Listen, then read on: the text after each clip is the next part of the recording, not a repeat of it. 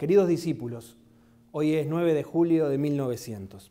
Es una fecha muy importante para mí, porque durante todo este tiempo les he tomado un gran aprecio.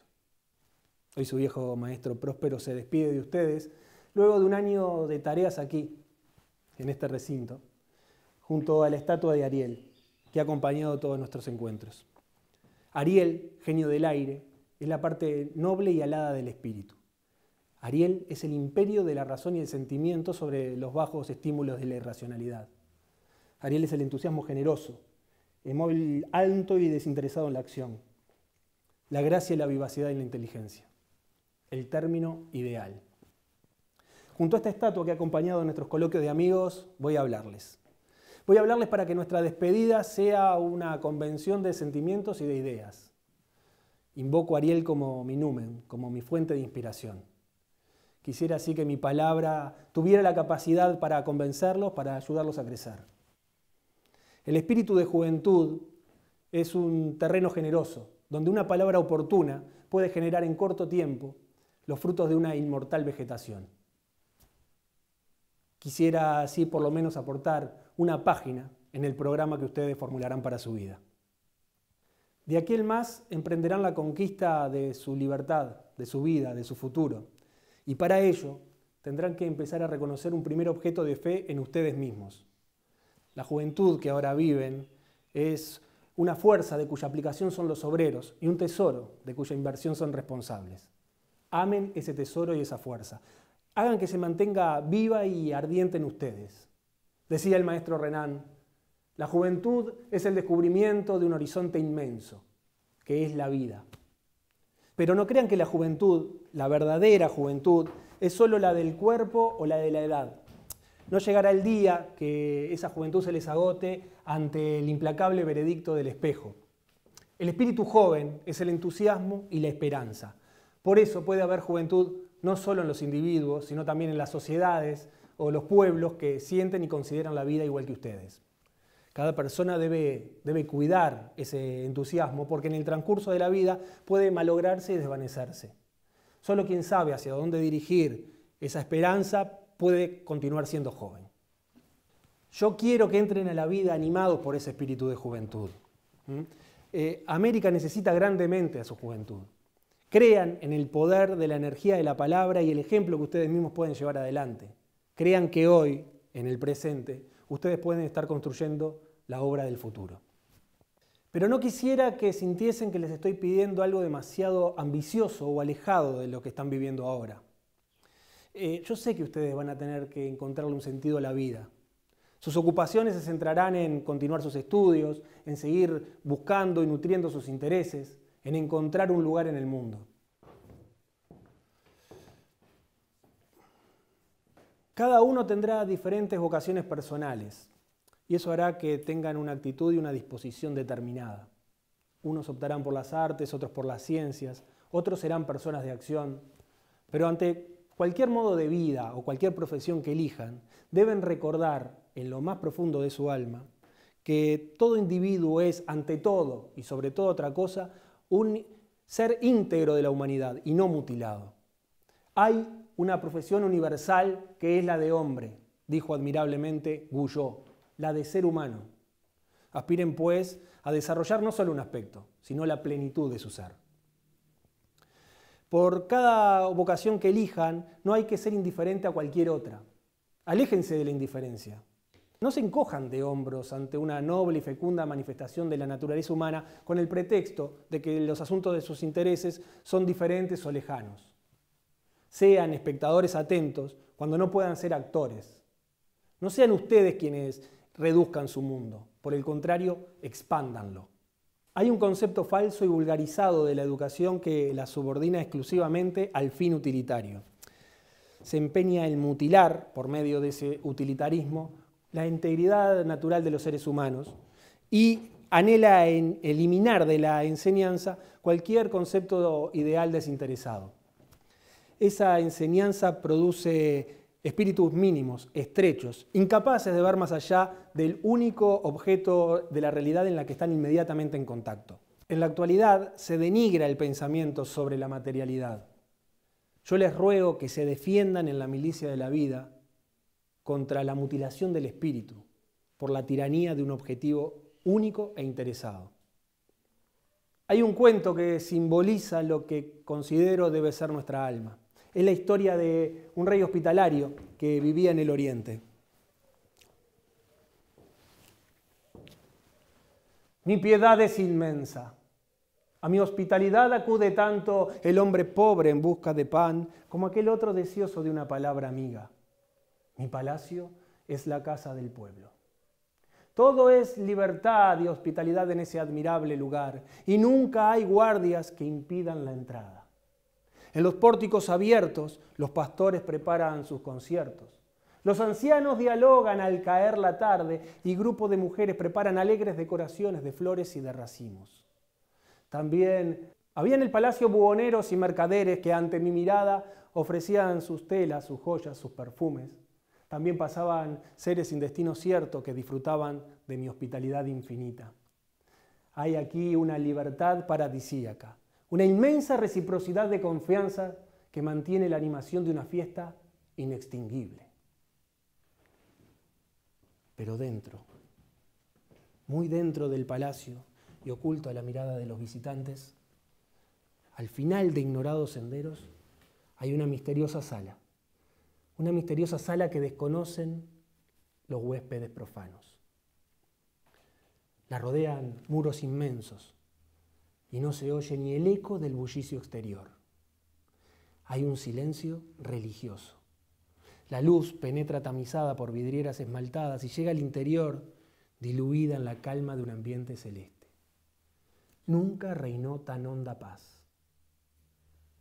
Cierta vez, cuando la noche es clara y tranquila, se abre la cúpula como dos valvas de nácar, dejando penetrar la majestuosidad del cielo estrellado y de las sombras serenas.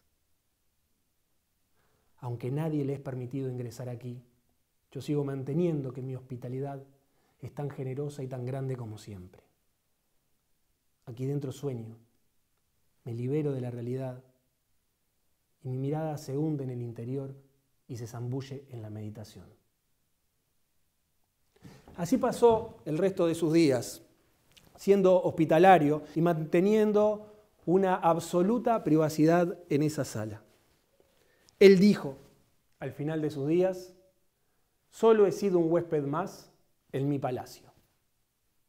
Yo veo en el cuento el escenario del reino interior de cada uno de ustedes, que sea abierto con saludable libertad como en la casa del rey, pero que mantenga a su vez una sala misteriosa y escondida que desconozcan los huéspedes profanos y que solo habite la, la razón serena. Soñar, pensar, admirar, he ahí los sutiles visitantes de esa sala interior. Solo cuando logren penetrar en el inviolable espacio de la reflexión podrán considerarse hombres libres. Recuerden, en el carácter actual de las sociedades humanas, la más fácil y frecuente de las mutilaciones es la que obliga al alma a privarse de su vida interior. No permitan que su vida quede reducida a la pura utilidad, que siempre haya un espacio interior de reflexión, como en la sala de mi cuento. Con frecuencia, al ver el espíritu de utilidad que da la nota moral del siglo presente, se le atribuye la culpa al triunfo de las ideas democráticas. A la democracia se la ha acusado de guiar a la humanidad hacia la mediocridad, hacia el utilitarismo. Son falsas las ideas que asocian democracia con mediocridad. La democracia no se opone a una concepción de la sociedad guiada por altos ideales. Para criticar a la democracia y asociarla con la mediocridad, Renan toma dos personajes, Ariel, como el nombre de mi estatua, y Calibán. Ariel y Calibán debemos tomarlos como símbolos y los símbolos muchas veces presentan grandes diferencias. Ariel y Calibán son originariamente personajes de una obra llamada La Tempestad de Shakespeare. En ella, un duque llamado Próspero queda atrapado en una isla mágica y deja librado por azar a un genio alado llamado Ariel que queda a su servicio. Calibán es mostrado como un salvaje, torpe, de baja moral nativo de la isla donde se desarrolla la obra. Sobre esa base, Renan toma esos dos personajes pero le da otro significado. Identifica a Calibán con la muchedumbre mediocre y a Ariel con la idealidad, que según él es para unos pocos, para una minoría selecta. Con estos personajes, Renan manifestó de manera simbólica dos clases de personas. Una élite mínima y excelente y una mayoría naturalmente baja, impura, incapaz. Haciendo esta división, criticó fuertemente a la democracia. Quienes, quienes critican a la democracia se hacen la siguiente pregunta. ¿La mayoría de los hombres son idealistas o interesados? ¿Son cultos o ignorantes? ¿Se preocupan por los asuntos públicos o son indiferentes? Entonces se responden, son indiferentes, ignorantes, incultos. Entonces, si la mayoría de los hombres son indiferentes, ignorantes, incultos, y la democracia es el gobierno de las mayorías, ¿es acaso la democracia la mejor forma de gobierno posible? Entonces responden que no, justificando las aristocracias, el gobierno de unos pocos. Pero la democracia no tiene por qué ser una cuna de mediocres. ¿Acaso creen ustedes que tiene sentido dividir a la gente entre Arieles y Calibanes? Yo creo que Renan se equivoca. Renan se olvida que esa muchedumbre está formada por seres humanos, que también pueden aspirar a altos ideales y no ser puramente mediocres. Yo le doy otro sentido diferente a estos personajes.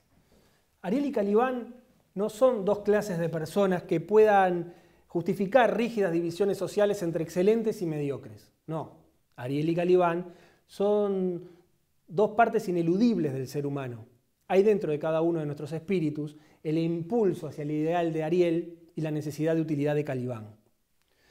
Por eso, por eso la educación debe ser y debe aspirar a algo más que a la mera utilidad. La democracia no es indefectiblemente el gobierno de una muchedumbre mediocre si a esa muchedumbre se le otorga el derecho de una educación no solamente utilitaria. La democracia soporte insustituible donde reposa nuestra civilización. Una democracia donde la educación popular adquiere un interés supremo. Es en la escuela donde encontramos la primera manifestación de la equidad social, que consagra para todos la accesibilidad del saber para el enriquecimiento humano. Pero es necesario que realice una precisión. Igualdad democrática puede significar una igual posibilidad, pero nunca una igual realidad ni de prestigio, ni de influencia. Igualdad de oportunidades, no de resultados. El deber del Estado consiste en colocar a todos los miembros de la sociedad en iguales condiciones. Consiste en brindar los medios propios para la revelación de las excelencias humanas. Partiendo de esa igualdad inicial, toda desigualdad posterior queda justificada, ya sea por las misteriosas elecciones de la naturaleza o por el esfuerzo meritorio de la voluntad. La democracia puede ser también el gobierno de los mejores, una democracia noble, justa, dirigida por el sentimiento de las verdaderas superioridades humanas, la inteligencia y la virtud. Hoy, en 1900, la concepción utilitaria como idea de igualdad en lo mediocre es lo que en Europa se ha dado a llamar el espíritu de americanismo, en referencia a los Estados Unidos. Es así como surge la visión de una América deslatinizada por propia voluntad. Estamos viviendo nuestra nordomanía, nuestra manía por imitar a los Estados Unidos. No rechazo a los Estados Unidos como pueblo. Suya es la gloria de haber revelado la grandeza y el poder del trabajo. Fuertes, tenaces, teniendo la inacción como deshonra, ellos han puesto en las manos del mecánico de sus talleres y del granjero de sus campos toda la grandeza del mito. Hay en ellos un instinto de curiosidad despierta e insaciable, una impaciente avidez de toda luz. Por mi parte, aunque no les amo, les admiro.